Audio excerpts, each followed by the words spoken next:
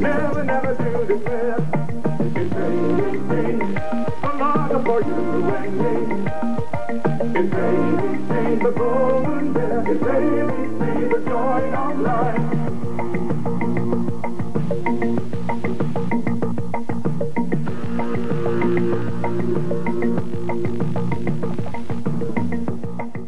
There were the screen gods and goddesses with their talents and looks wowing millions across the country. Featuring in movies, plays, and adverts, among others, they became household names here in Ghana. Uh, you remember I keep talking about Kujo's lifestyle. Is that what to say when your son finds himself in trouble? The attack pronouncements are not fine. But didn't you notice a change in his lifestyle? Uh, so you are happy that he's been in this situation? No, no, not at all. I am only saying the facts of the matter. One must try to live within one's means. That is the surest way to avoid trouble. Enough with your facts. Enough. But what has become of these talented actors and actresses who entertained us for so many years, keeping us glued to our TV and radio sets? My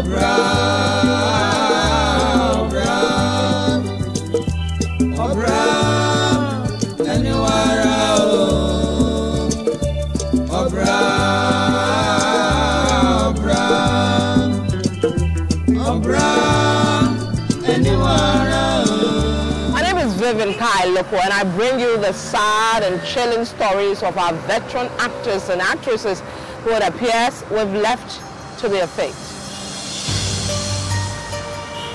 William Addo, who goes by the stage name Akpatse, was once the star of the famous Thursday Theatre, which aired every week on Ghana's only television station at the time, GTV. Today, he lives on a farm in Tefle in the Volta region and not only blind, but also plagued with a number of illnesses.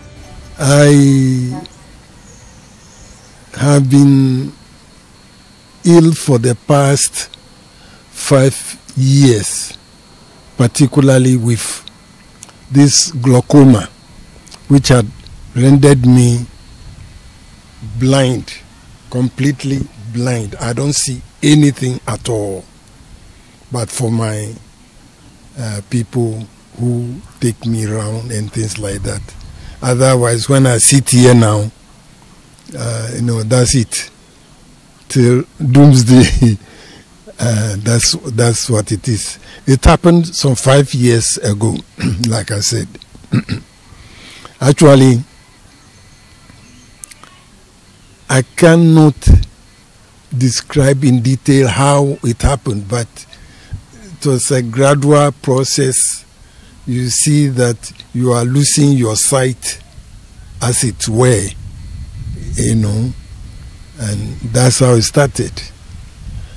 Uh, initially, I went to a number of uh, eye clinics all over the place in, in, this, in this country.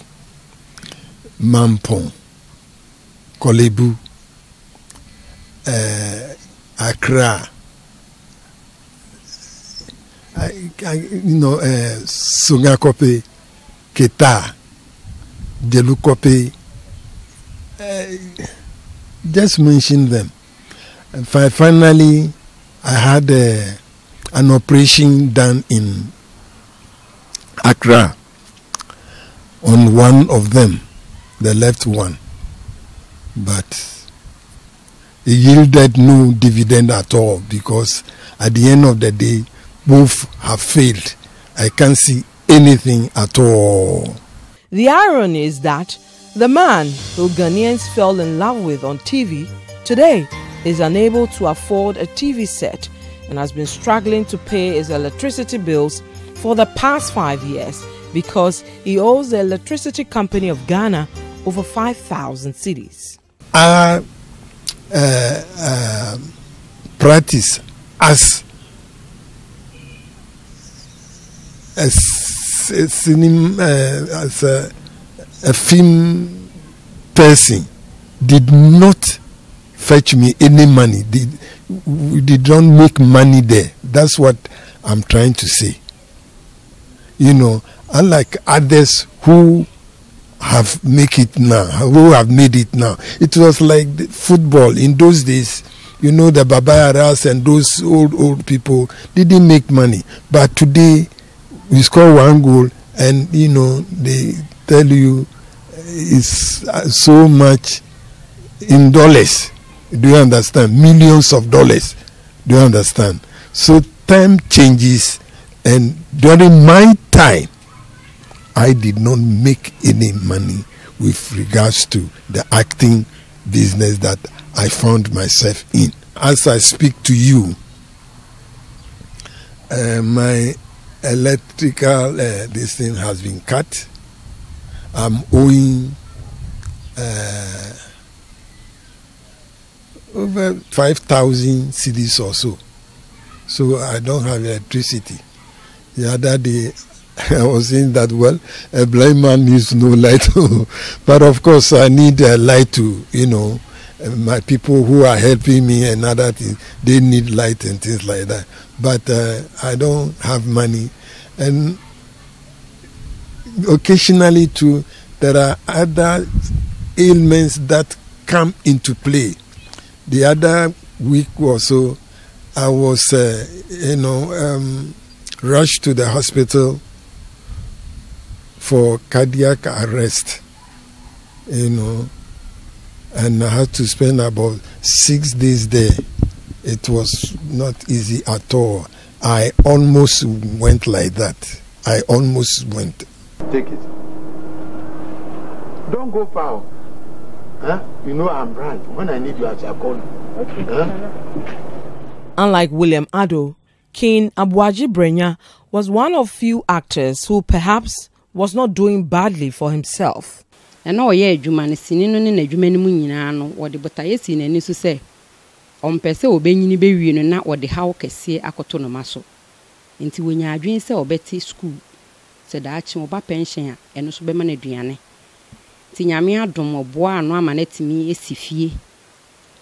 kakra girls house kakra a.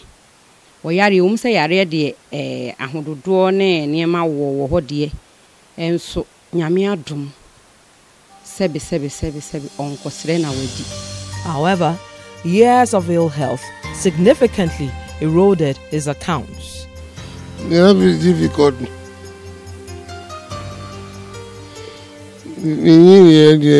Life is difficult. It's difficult because yeah, I never be I say. Me do blow. A few weeks ago, his family had told Citi TV monetary support from the public will lift some of the medical bills burden off them. nso esan sɛ wasɛvo ɔman no kasa abrɛ wɔ hɔ nkɛ wɔ sɛ ɔman no so. Mpanimfoɔ so so twa yɛn ani. Ɛbɛhwɛ sɛ papa wɔ mmerɛ bi na wɔyɛ sei na wɔyɛ sei. Na ɔman no so etumi ɛkae no. Unfortunately, King Aboagye Brenya didn't live to see that day as he passed on on 30th September 2021 before that wish was fulfilled. Margaret, Margaret, Yani Maya, Oyapo, Ita Yani Maya, eh, Yani Maya. Yani Maya, eh, Yani Maya. Yani Maya, Oyapo, Ita Wasani.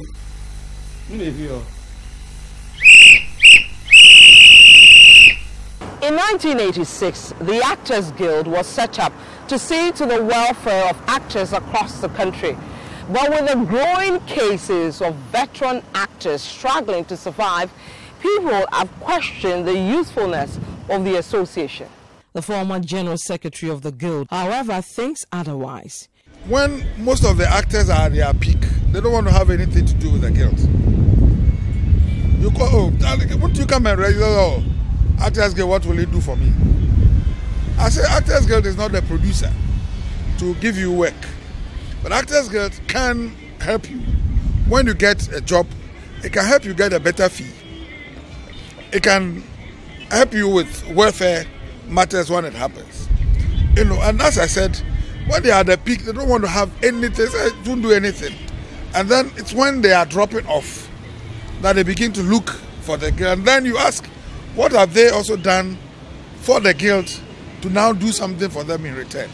He blames the low quality of life of the veteran actors to their failure to plan for their retirement. The truth amongst our people is that they are not ready to make any sacrifices for themselves, which is unfortunate. You know, I, I, I, I shudder to talk about it, but that is the situation. Let's contribute this for the future. I said, no, give us our money. Give us our money. Give us our money.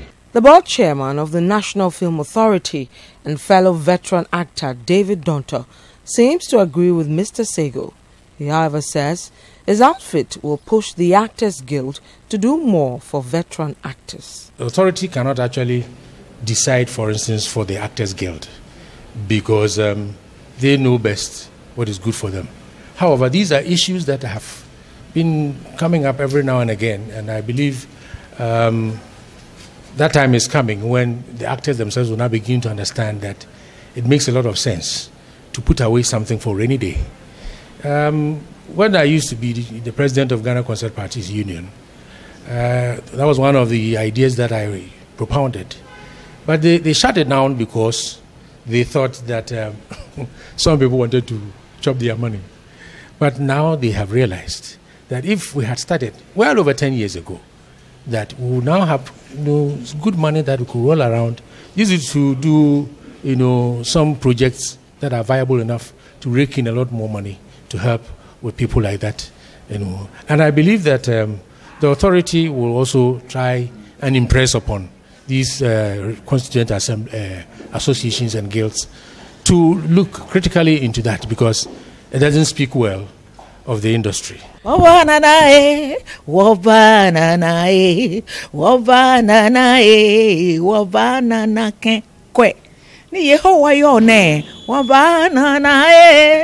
Kristo wayira here lole, wabananae. Nu wayo wala ni wogboku, wabananae, wabananae, wabananake kwe.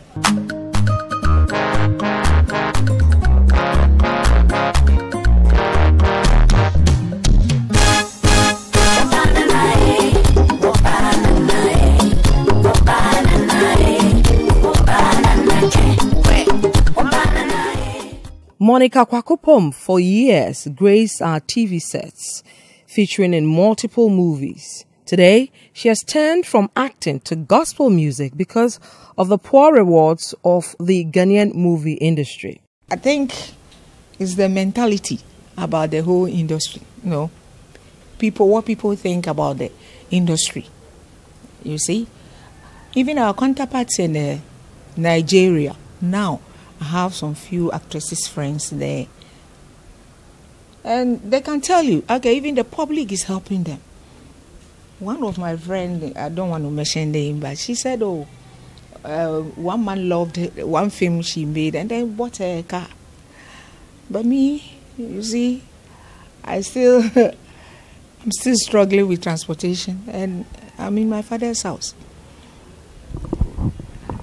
A house or anything, but then, by God's grace, I'm alive. So, does that mean uh, the payment system in the industry is that bad? very, very bad. Very bad. Even the producers are complaining. So if they don't pay you, you don't talk. you- There's nothing you can say. You know, eh? You do a film. Maybe they pay part of it, and they will tell you they will give you the rest later. And then later on, you don't hear of anybody again. Sometimes they show it outside the country. Uh, but you don't hear anything. They don't call you. They don't give you anything.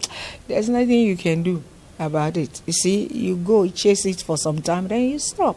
But how was it difficult to not claim your money from these? Um, No, producers? somebody, no, somebody wrote the script, and most of the time is the producer who know who had the story. No, so when you, you, you, when there's an episode or a film, the director have to take his money, the producer have to take his money, the script. You have to pay for the script and all that, and then you pay the artist, and then the. Uh, even in those times, uh, the GBC were giving us uh, the the crew, the crew, mm, sound man, you know, camera and all that, you know. But they have to be. For me, I'm concerned with my costumes. Eh? When I come appearing and acting well and be paid well, that's what I expect. So now, how much would you say is paid well for Auntie Monica? Yeah. If I'm a producer and watching Auntie Monica, I want her in my movie. How much must I pay Auntie Monica and she will be okay? I, I will consider and come.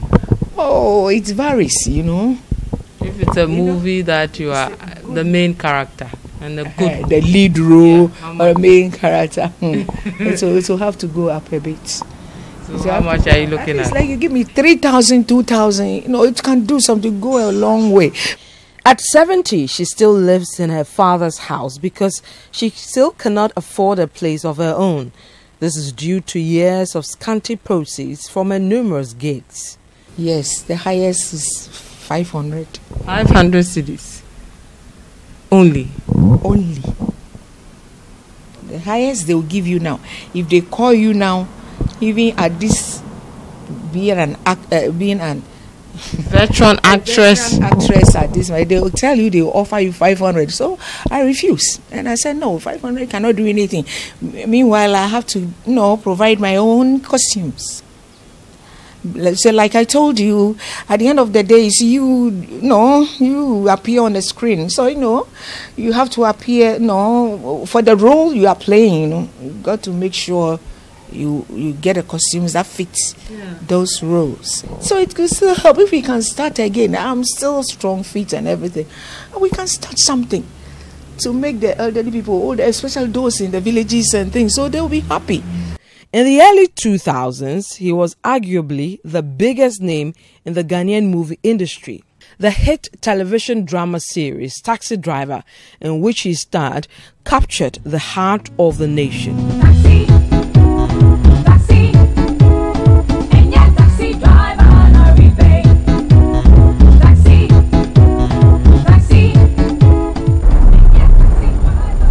Accra needs my services.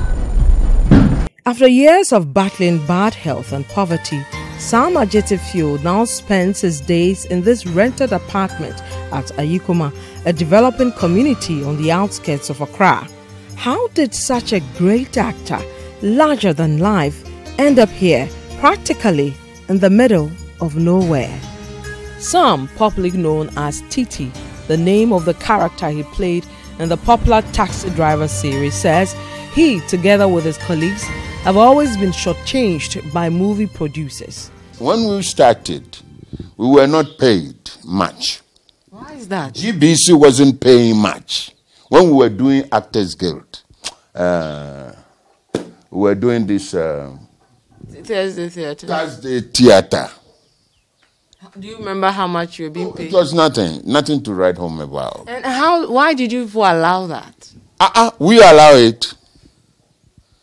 They tell you what GBC will tell you, we are making you popular, and true.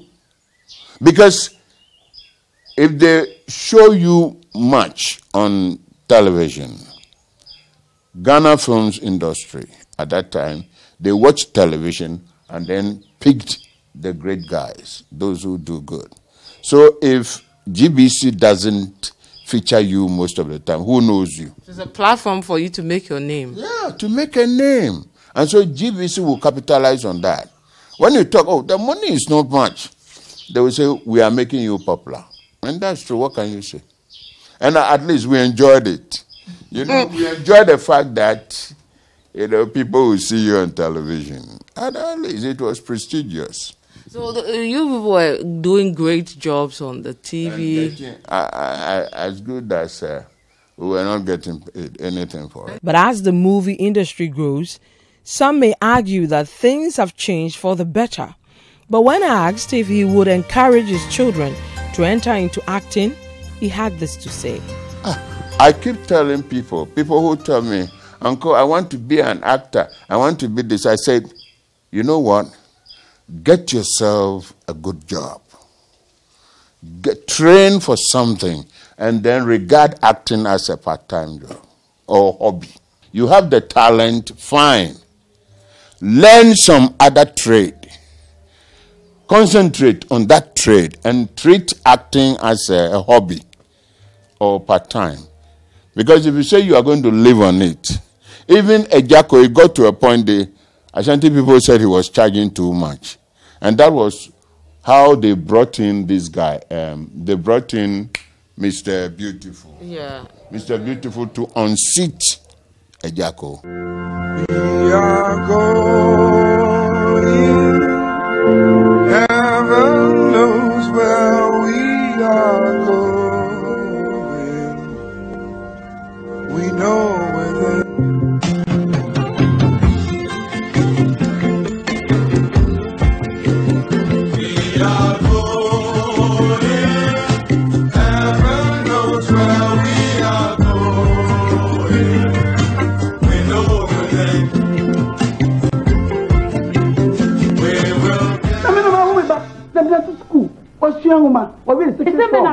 me na mede hyia ho nea mepɛ na meyɛ ma adeɛ Yo, wo deɛ mema no deɛ- mpue wo deɛ deɛ ɔpɛ na abɛyɛ a, mema no yɛ. mpue Yɛ. Ah, ɔmo ɛsɛ papa.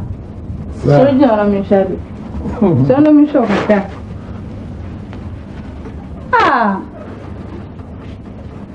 Wɔn kura yɛ fɛ si ɔbaa. Dan okyina mi hwɛ. With a clock of life fast ticking for these actors, many of them in their 70s, they outline what they will need to make their remaining years on earth a little more bearable. I'm in darkness now, both physically, mentally, and in reality.